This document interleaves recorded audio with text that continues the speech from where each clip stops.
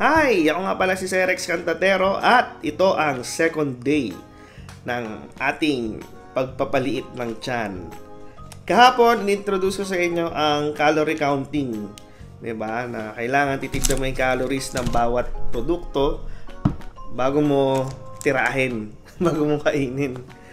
So, eto, pag-aralan nating maigi o mabuti kung paano maginagawa yung calorie counting para hindi tayo nalilinlang. Kanina, um, ginutom ako, kanina umaga. So, may nakita akong dalawang ganito, skyflakes sa, yan, nakakalat. So, hinahanap ko, nasa kaya yung ano, calorie niya? Ilang calories? Walang nakalagay dito. Wala eh. Ayan eh.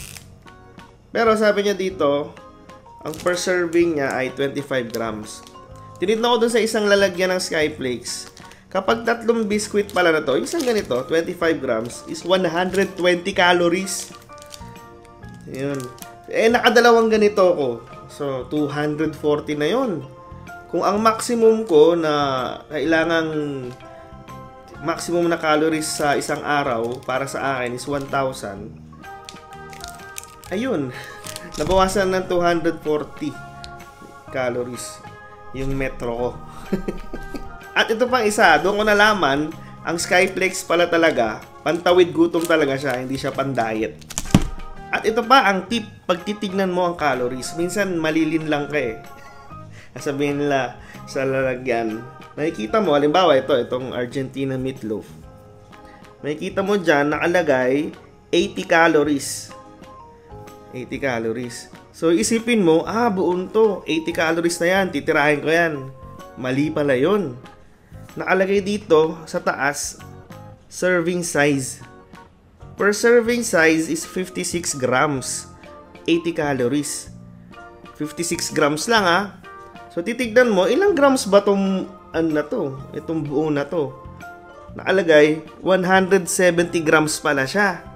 So kung 80 calories to per 50 grams, tas 170 grams pala tong buo na to, lumalabas na triple halos yung calories na makukuha mo. Hindi lang 80. 240 calories pa lang isang ganito.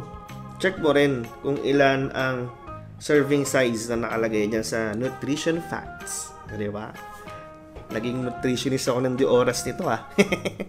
so yun, bukas ulit.